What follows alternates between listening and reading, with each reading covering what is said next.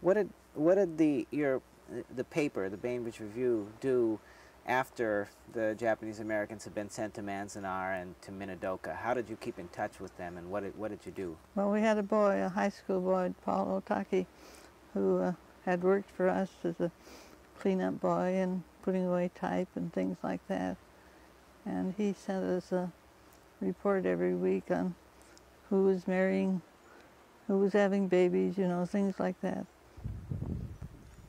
What was the idea behind having that column? Oh, well, so that they would still be neighbors of the people at home because we knew they'd be coming back someday and we hoped there would be no bad feeling.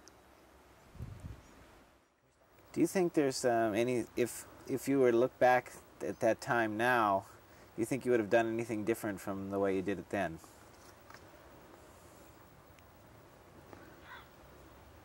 Hmm.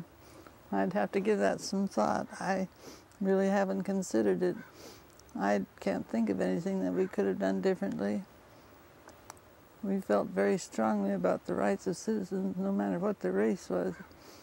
I remember one friend of ours, name is, uh, oh, I can't remember it right now, Alexander Myers. Not Alexander, but Well, anyway, he's a well-known businessman. He was in the insurance business. He's the son of Alexander Myers. He was at our house one night. We were just talking about this. And he said, you know, if they can do this to Japanese Americans, they can do it to W Americans or Mildred Americans. There's this, any, any, any group could be singled out if one group can be. Do you think that something like this could happen again to someone else? Yes, sir. Tell me about that. The trouble is the United States Supreme Court, which upheld the evacuation, in a very tortured decision, one of the justices, Justice Murphy, wrote in his assent, he didn't dissent, he voted with the majority. He said, This is the first time in the United States that race has ever been legitimized as a reason for incarcerating people. That decision still stands, John.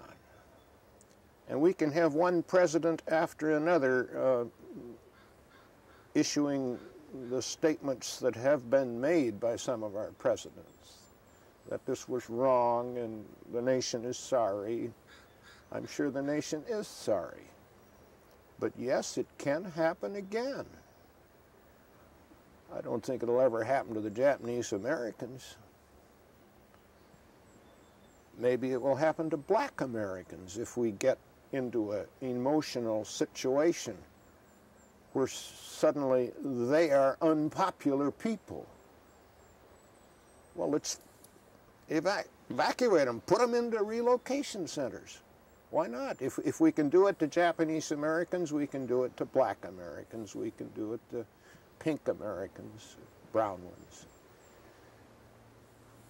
Yes, until the Supreme Court is able to reverse itself, then it still stands on the law books today that, yes, it's all right for the government to do this in time of war, to take citizens without any due process of law and lock them up in a concentration camp.